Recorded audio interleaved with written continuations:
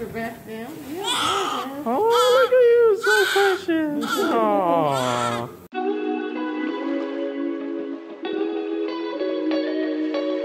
Nyasha. Welcome to the Vangs. I am Tanaya, and I am Blanc. and this is Part two. of our birth story. Y'all wanted it, we got it. Yes. The nurses came in and they talked to the OB team. Uh, originally, I had a midwife. They talked to the OB team to suggest uh, C-section, Right. and that's where the tables turn. I kind of felt, um, not in this moment, to be honest. I felt before this moment, if I ever had to do a C-section, that it, I was a, I almost felt like a failure that I couldn't do it vaginally. Mm. But um, at this moment, I had so much peace. I said, you know what? They said we could wait longer, where the C-section would be an emergency, Right. or we could do it now, where it's just urgent, and we can take our time getting the baby out. And I said, C-section. Yeah, that broke my heart because I, for one, I wasn't prepared for it. I know you were because you No, I wasn't. But- but Every like you- book that they gave me, I read. Pa- I didn't even read the C-section part because I'm like, I ain't getting no C-section. Yeah, I was struggling because you know, like I was saying, I. I never had C-section on the back of my mind because in my mind it was just, oh, we're gonna have a vaginal birth and that's it. C-section, I knew it was a thing, but I guess for us it was just I never thought about it, and then when that happened, it scared the crap out of me. I was He was praying. so worried, and I, I was praying so hard, yo. I was legit in tears, man, because I was like, they're gonna cut my wife open to bring this baby out. So here's here's here's the dilemma here. So the OB team's like, okay, if she says okay, we're gonna do it. But then there was an obstetrician, a Mhm. gynecologist that Right. came in, and she's came up to me. What did she ask me? Well, how many kids do you plan on having? And I looked at her and I'm like, what? I looked at Peter. I said a couple more, and she's like, well, are you gonna have like ten? And I'm like, and in my head. I'm like, I am 30 years old. What I look like having kids till I'm 40? It's, it's funny because even all the nurses kind of looked at her. The nurses was like, "What is she doing?" And I said, "No." She's like five, and I'm like, "I don't know." Like- And then like, can we get through this one? yeah, I'm like, "Where do you where are you getting at?" And she's Right. like, "Well, because she basically made it sound like I couldn't have a um." C sections do so much wear and tear on the body that having more kids would be more difficult for me. Right. And I'm in my head, I'm like, I know there's vaginal birth after C sections. Boy, bye. so um, she's like, Well, we could wait longer for your contractions and we could put a balloon up there and it'll help relieve the pressure on the baby. And I'm looking at her like, Give me the C section. I'm not putting, I'm not waiting longer in labor. Yeah. So what? So we can see my child almost dies and then it's emergency? No. oh, let's So let's explain why we're having a C-section. that's what we're doing right now. Oh, okay. They started prepping me for pre op. Yeah. Mhm. So I didn't realize to go into um to go into the labor room, you legit have to gear up. Like you got to do Pre op, not labor. Pre op. Pre-op. Oh, Yeah. it's only for pre-op. We were already in the labor room. Oh, okay. So if it wasn't for the C-section, you would have had it there. Yeah. Oh, okay. Yeah. That makes okay. So pre-op, you have to gear up no matter what. So they put us in the bunny suits. Okay. Yeah. And I actually have a photo of Peter. Picture right here, here, and Just here. one photo. Yeah, but anyways, I, I didn't know you had to put all that on. So you know, the, the we're joking, cracking jokes with the nurse. She's like, yeah, a lot of people kind of they take pictures and they're always laughing about it. But yeah, you got to put this faux suit on, and I, I legit look like I was about to go cook crack and like Breaking Bad or something, man. meth. It was meth. Cooking But- meth and Breaking Bad, like it, it was. Yeah. It, it was an experience. So Yeah. So they took out the monitor out and I actually checked my cervix at the same time. So they didn't want to check my cervix too much because my water had already broke Mhm. and they didn't want to cause any infections in there. Right. So at this time I was three, four centimeters. That ain't jack no, for laboring as long as I was yet, laboring. But I would have to say, although the contractions were getting heavier, they still did not have anything on my menstrual cramps. They were heavy. They were they were um painful, but my menstrual cramps had been whoo, Yeah. stuck on the bed shaking type, and that was not anything compared to that.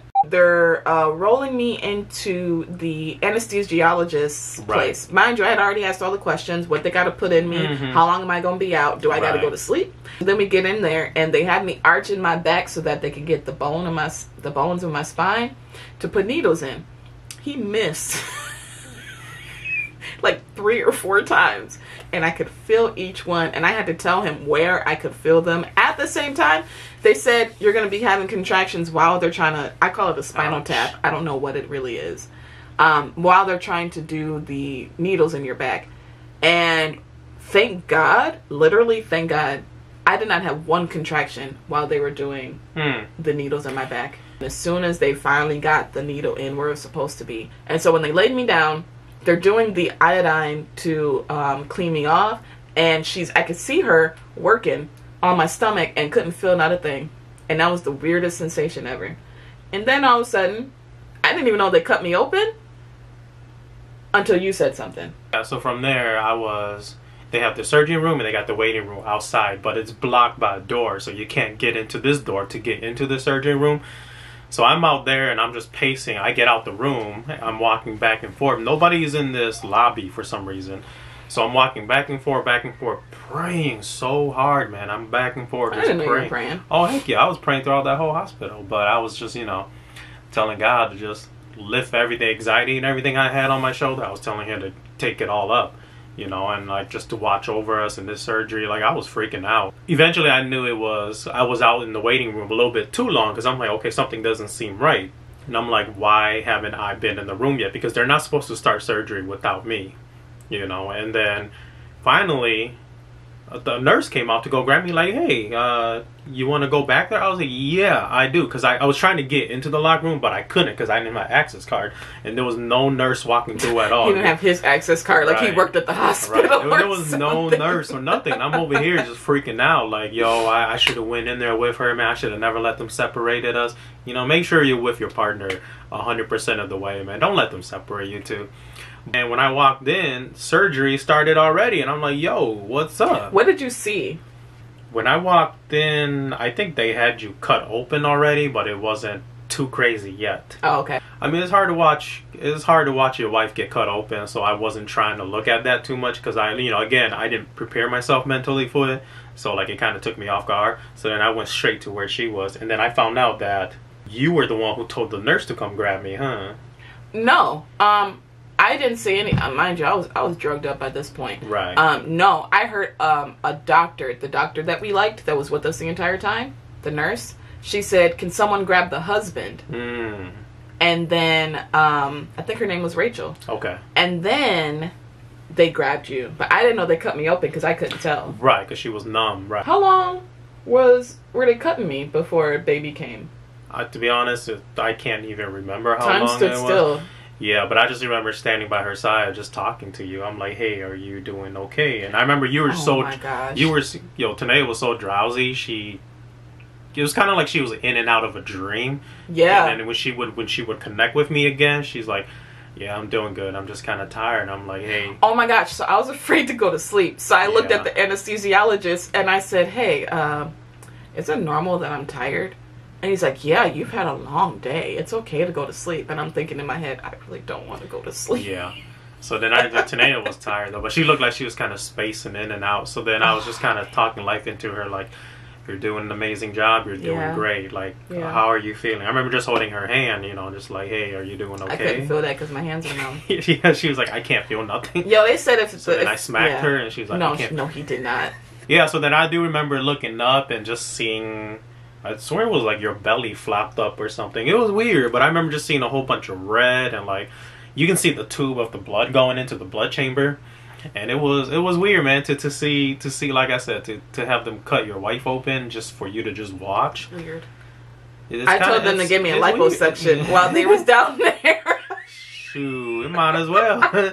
so then I don't know how long it had been. but by then we, we were sitting right next to each other, and and then we heard the doctor- whoa we heard Whoa. yeah we heard whoa someone's alert and like, we heard oh my gosh, look at your eyes, you're so beautiful. yeah and then we hear crying Yeah, because because they haven't cut into the sack yet, and then because you know I think when they pulled Huh? the baby, wait, was the baby in the sack? No. the baby had already like when the baby came out she was out the sack Oh, okay. She didn't. Oh, when she had her first breath of air, and then all of a sudden you hear just crying. I'm like, and me and Tanaya looked at each other and we started crying too, because like it's just it's weird because it just came out like I wasn't expecting it, and then they carry the baby over to um the table the table so they can wipe her off. instead of giving me my first skin to skin Yeah, like, like I said, it was- it, it was a lot of learning experience on our end. So nurse number two is looking at nurse number one like, "Hey, can we bring the baby to the mom?" And then nurse number one is like, she ignored her, so she's still cleaning her. I'm looking at her like, yo, like I'm like, can you bring the baby to the mom? And the nurse was like, okay, can we just stop that?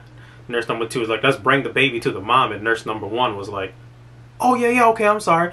I'm like, bruh, what is you doing? I didn't catch any of that. The nurse number two wrapped the baby up and carried it over to uh, Tanaya, and she started crying again. And then we, when the skin to skin contact, yo, God really knew what He was doing with like skin to skin touch and all that. Like it's crazy because the baby started crying. And then she laid on Tanaya, and then into I think you said something like, Hi. I said, I said Nova, and I said Nova, and then all of a sudden, she stopped crying. She stopped crying and she kind of looked up like, I know that voice. What is that? It was the most heartwarming. I'm getting teary just thinking ah. about it. And then, you know, after we kind of, you know, they were they were they're finished with Tanaya, so they're stitching her up. And they asked me like, "Hey, Dad, do you want to go into the waiting room with the baby?" And I looked at Tanaya and I was like, because I didn't want to leave her, so I said, "Are you okay with it?" And you remember you looking at me, you're like, "Yeah, it's okay, you can go." I'm like, "Are you sure?" You're like, "Yeah, Peter, just go." I was out of it. Yeah, you're like, to, just to go. be honest, you shouldn't even ask me. So so then I, I I I hold the baby or I held the baby and we went into the the waiting room in the lobby and I remember sitting there just recording her and taking pictures and just kind of looking at her like wow this is like this is for real everything we've been praying for is right in my hand I'm just like staring at her like man this is real and then you know she held my finger for the first time and she she was wide awake like her eyes were just kind of open just kind of staring yeah eventually they brought Tanaya into the room the waiting room Post and op, yeah. post op the waiting room and then It's a post operation room. It wasn't the waiting room. okay the waiting room and then um It wasn't the waiting room. that's where um you know after they got Tanaya settled in you know we did the first latch They tried to do the first latch. It was difficult trying to maneuver everything. I don't even know. The only reason I know that it really happened was because of the video that I saw of them doing it.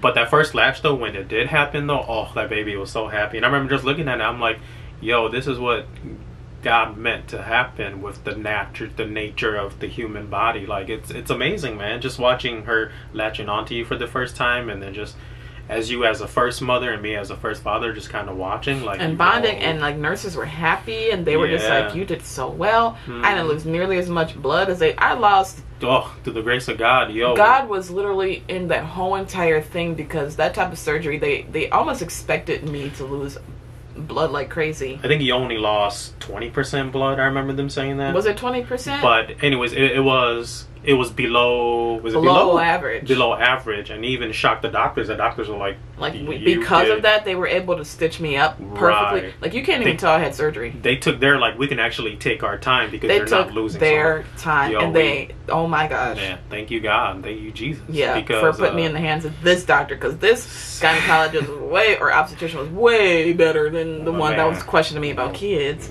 But anyway, so then we end up um in the uh I don't even know what this room is called, but it's the room we ended up staying in for the last the next couple nights. That first night was actually like a dream. But yeah, every person, and you just knew that this child is just a straight gift from God, and that Mhm. she's going to be so powerful in ministry and sharing God's word. Oh my Yeah. gosh, I am so excited for where she's going to be. I'm telling you, her energy towards everyone is her spirit like- is so. Other than babies being pure in general, right. her her she is so pure, and she just brought on tears to people like I've never Mhm. seen this before with Right. babies. Anyways, I remember Peter trying to feed me some Hmong food, and What- I was what- so excited. Oh, this is when they gave you painkillers. Yeah, yeah. They had to Peter, I've been on painkillers. the entire time. They gave you some more too, though. I think. No, it wasn't. It was just in my IV. Oh, was it? Okay. Yeah, it was just in my IV. Peter trying to feed me, and I'm over here like, yeah, because I'm hungry. I had ate since the night before, hmm and I'm trying to eat, and it was delicious. What would I give her? I gave her. It was uh, chicken. chicken and sticky rice Sticky from like rice. Hmong Village, and, And then so- and then apple juice too, I believe. Did I have apple juice? Yeah, I oh, because that they wanted to give me something to drink that wasn't water. I ate that. And then all of a sudden, Tanaya started feeling nauseous, and then Got they had they had they had little puke bags for her, and um, she so started. I puked about a couple times, Yeah, and then they're talking and laughing and stuff, in the background while I'm over here puking, thinking, "What the heck are y'all doing? Y'all don't see this?" We do With the baby I in one arm and a puke bag in the other arm, and I'm just like, I mean, what could you do though? can't you do know? nothing.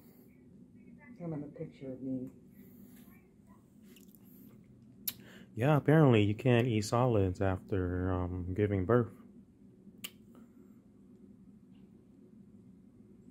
And then that that that uh, the drugs they have you on make you so itchy, Oh, and they're like, yeah. "Well, we can give you." Today was itching. I felt like I just I just feel it now. Like my whole back was itchy in places I couldn't even scratch. Yeah, Long story short, the first night was wonderful. I just couldn't stop staring at our baby. yeah. And then I took a photo of the sunrise the next morning with her in the bassinet, which is what we end up sharing with everybody like a week later. But uh, man, just that coming home feeling, man. Like nothing feels better than leaving the hospital.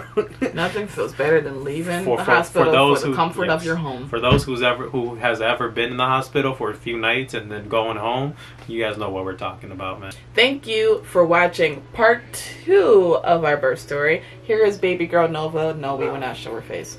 Follow us on IG. That is our day to day, almost day to day thing on uh, uh, the underscore Vangs.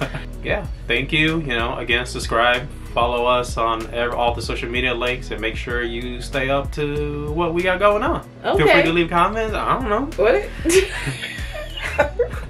Peace.